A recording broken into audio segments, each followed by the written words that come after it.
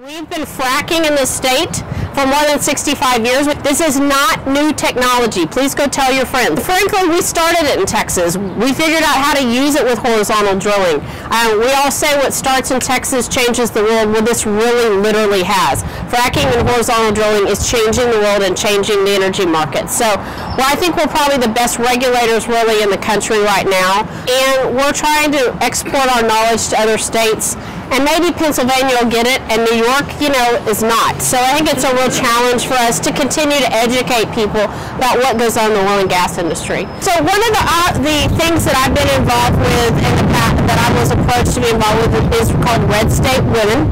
Um, it's kind of a, I call it an information group Republicans have been allowing the other party to define us.